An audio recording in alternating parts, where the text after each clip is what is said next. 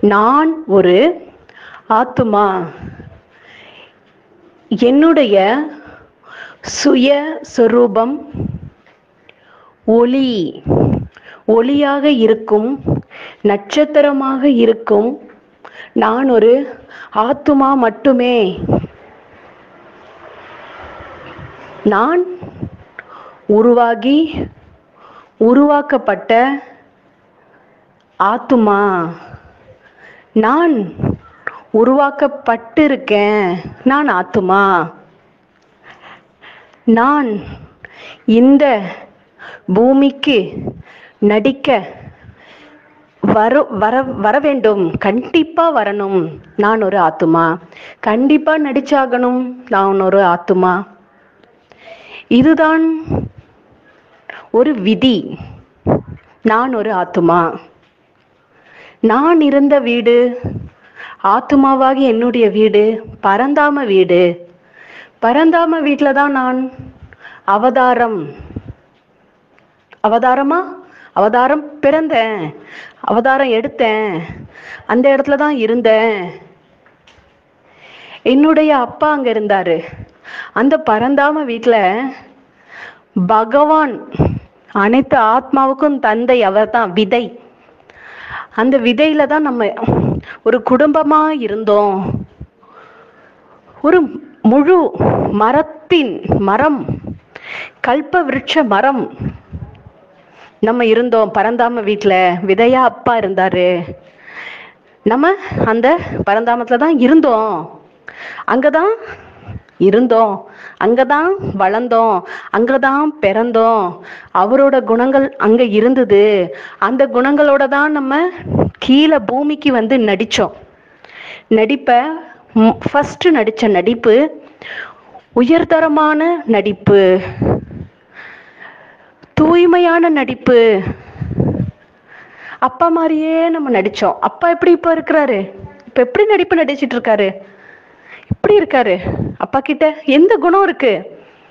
இவ்வளோ ஒரு குழந்தை மாதிரி இருக்காரு அப்பா. அதே மாதிரி தான் அவர் மாதிரி தான் நானும். ஏன் அவர் குழந்தை தான் நான். அப்படிதான் நடித்தேன் அப்பா மாதிரி தானே நாங்களும் இருப்போம். எங்க அப்பாவோட குணம் தானே எங்களுக்கு இருக்கும். எங்க சிவ பாபா எங்க அப்பா சிவ பாபா எங்க அம்மா அவங்க குணத்தோட தான் நாங்க கீழே இறங்கி பிறந்தோம். வளர்ந்தோம் நடிச்சோம். ஆத்மா அவ்வளோ தூய்மையா இருந்த ஆத்மா இப்போ எப்படி இருக்கு? நடிச்சு நடிச்சு நம்ம பேட்டரி ஆத்துமா? சக்தி இல்லை. சக்தி இல்லை. சக்தி இழந்துட்டோம். இந்த சக்தியை திரும்ப யார் கொடுப்பா நமக்கு? யார் கொடுக்க முடியும்? யாரால முடியும்? நம்ம அப்பாவால மட்டும்தானே முடியும். வேற யாராலையும் முடியாது. தீய எண்ணம் கெட்ட எண்ணம் தலை தலைக்கீழான ஒரு தேக உணர்வு. என்னெல்லாம் பண்ண முடியுமோ மாயா எல்லாமே நம்மளோட ஆத்மாவை யூஸ் பண்ணி நம்மளை எவ்வளோ எவ்வளோ எவ்வளோ நம்ம ஆத்மாவை வந்து என்ன சொல்றது கெடுக்க முடியுமோ ஆத்மாவை கெடுத்துருச்சு. ஆத்மா ரொம்ப மோசமா போயிடுச்சு. நம்ம அப்பாவே நம்ம மறந்துட்டோம். அப்பாவையே மறக்க வச்சது. மாயாவோட அந்த சக்தியை மட்டுமே நம்ம வந்து எடுத்துக்கிட்டோம். இந்த சக்தி மட்டும்தான் அந்த மாயா நமக்கு ஆத்மாவுக்குள்ள கொடுத்துக்கிட்டே இருக்கு அந்த சக்திய.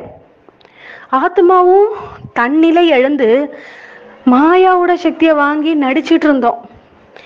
கீழான நிலையில வந்து வந்துட்டோம். மாயா பேச்ச கேட்டு நடிச்சோம். மோசமான நிலைமைக்கு வந்துட்டோம். வா நம்ம அப்பாவை நம்ம மறந்துட்டு அப்பாவையே இந்த மாயை வந்து தப்பு தப்பா சொல்ல வச்சுது. பக்திய பக்திய வேற மாதிரி செய்ய வச்சுது. பக்திய வந்து நம்ம ஒரு கேவலப்படுத்துற மாதிரி செய்ய வச்சது மாயா. இவ்வளவும் செஞ்சது அந்த அந்த மாயையோட வேலை ராவணனோட வேலை. அந்த வேலையை அது கரெக்டா துவாபரிகத்தை துவாபரிகம் அங்க ஸ்டார்ட் பண்ணி கலியுகம் இந்த இறுதி உச்சத்துக்கு போயிட்டு இருக்கு. விஸ்வரூபம் எடுத்து பெருசா மாறிக்கிட்டு இருக்கு. உச்சத்துக்கு வந்துடுச்சு. நம்மளால முடியல தாங்க முடியல. அவ்வளோ ஒரு ஆத்மாவுக்கு அது வந்து ஒரு துக்கத்தை கொடுக்குது. கஷ்டத்தை கொடுக்குது. வலி வேதனை நோய் நோய்கள் அகால மரணம் திடீர் திடீர்னு மரணம். கஷ்டப்படுற ஆத்மாக்கு நம்ம என்ன பண்றது? கடவுளை நம்ம கூப்பிட்டோம். தேடினோம். யாருன்னு தெரியல. ஆனால் நாடகம் நன்மைக்கு நடந்தது. ஆனால் பக்தியில நம்ம என்ன பண்ணோம்? பகவான் கிட்ட கேட்டோம். தேடினோம்.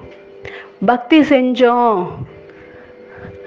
மாயா அதால முடிஞ்ச அளவுக்கு தப்பு செய்ய வச்சாலும் பக்தியில இது தப்புன்னு தெரியாம நம்ம அதுதான் சரின்னு செய்ய வச்சாலும் நாடகம்னு ஒண்ணு இருக்கு. நாடகத்துல நம்ம தந்தைய கண்டுபிடிச்சிட்டோம். அதனால நாடகத்துக்கு நன்றி. நாடகம் நன்மைக்கே. ராவணன் மாயா நமக்கு இவ்வளோ ஒரு துக்கத்தையும் கஷ்டத்தையும் வேதனையும் வலி இதெல்லாம் கொடுக்கல அப்படின்னா நம்ம அப்பாவை பார்க்க முடியாது. நமக்கு தெரியாம போயிடும். அதனால நாடகம் நன்மைக்கே. நாடகம் நன்மையில முடியுது. பாபா சொல்றாரு கீழே வராரு பாபா. பாபா வந்து தன்னோட அறிமுகத்தை கொடுக்கறாரு. குழந்தைய கண்டுபிடிக்கிறாரு. கண்டுபிடிச்சிட்டு பாபா என்ன செய்கிறாருன்னா புது உலகம் சொர்க்கம் அதை பற்றி சொல்கிறாரு முதல்ல நமக்கு ஆத்மாவுக்கு ஃபுல் சார்ஜ் கொடுக்குறாரு சக்தி கொடுக்குறாரு. அவரோட குழந்தையா அவர் தத்தெடுத்துக்கிறாரு ஆத்மாவை. இந்த ஆத்மாவை அவர் எடுத்துக்கிறாரு.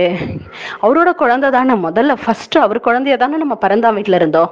அதுக்கப்புறம் தான் கீழே வந்து நம்ம நடிக்கும் போது கூட அவரோட குழந்தையா தான் நடித்தோம் அந்த வந்து தெய்வீக குணம் தான் இருந்தது. நடிக்க நடிக்க நம்ம வந்து அந்த குணத்தை குணத்தை வந்து சக்தி இழந்துட்டோம். அதுக்கப்புறம் அந்த சக்தி இல்லாம போனதுனால அதுக்கப்புறம் நம்ம வந்து என்ன பண்ணணும்னா அந்த மாயாவோட சக்தி. அந்த சக்தி நம்மக்கிட்ட வந்து அது வேலையை செஞ்சுது. நல்லது செய்கிற மாதிரி செஞ்சு நமக்கு துக்கம் கொடுக்குற வேலை ராவணனோட வேலை. மாயையோட வேலை. மாயை மாயம் பண்ணுறது மாயம் மாயம் தான் அதோட வேலை. பாபா உண்மையை சொல்கிறாரு சத்தியமானவர் நம்ம அப்பா. சத்தியத்தை சொல்கிறாரு சக்தி கொடுக்குறாரு. பாபாவோட குழந்தையா ஆனதுனால நமக்கு இப்போ புது பிறப்பு இருக்கு. நம்ம இப்போ புது ரத்தம் ஓடுது. நரம்பு சதை எல்லாத்துலேயும் பகவானோட ரத்தம் ஓடுது. பகவான் கொடுக்குற ஞானம் ஓடிட்டு இருக்கு. ஆத்துமா இப்போ முழு தூய்மையை பாபா முயற்சி பண்ணி வர வச்சிட்ருக்காரு. இப்போ பகவான் குழந்தை நம்ம ஆயிட்டோம். இப்போ வேற ஒரு இடத்துல நம்ம குழந்தையா போய் பிறக்கிறோம் அப்படின்னா எந்த இடத்துல அப்பா அதாவது எந்த இடத்துல நம்ம குழந்தையா இருந்தோமோ அந்த அப்பாவை அம்மாவை அந்த சொந்தங்கள் எல்லாத்தையும் மறந்துடுவோம் வேற இடத்துலக்கு நம்ம பிறக்கும் போது வேற இடத்துல போகும்போது அவங்க குழந்தை ஆகும்போது அது மட்டும்தான் நமக்கு தெரியும். வேற எதுவுமே தெரியாது. அதே மாதிரி இப்போ நம்ம ராவணன் குழந்தையா இருந்திருக்கோம். ராவணன் பேச்சு தான் கேட்டோம். தீய குணம் இருந்தது தீய எண்ணம் இருந்தது. இப்போ அப்பாவோட குழந்தையாயிட்டோம் பகவான் குழந்தையாயிட்டோம் அப்போ நம்ம அதை மறந்துடணும். ராவணனோடத மறந்துடணும். ராவணன் வந்து நம்மளது இல்லையே. நமக்கு இப்ப அப்பா கிடைச்சிட்டாரே. நம்ம உண்மையான அப்பா சத்தியமான அப்பா. சர்வசக்தி நிறைஞ்ச அப்பா கிடைச்சிட்டாரு. அதனால அந்த பழசை மறந்துடுங்க. நாங்க இப்போ புது குழந்தை. ஃப்ரெஷ்ஷாக குழந்தையா இருக்கோம். எங்க அப்பா என்ன சொல்றாரோ அப்படி கேட்டு வளர்ந்துட்டு இருக்கோம் உங்கள் உங்க குழந்தை பாபா நாங்க சொல்றோம். அவ்வளோதான் அவர் குழந்தையா பாபா மாத்துறாரு. அது அவரோட வேலை. ஓம் சாந்தி.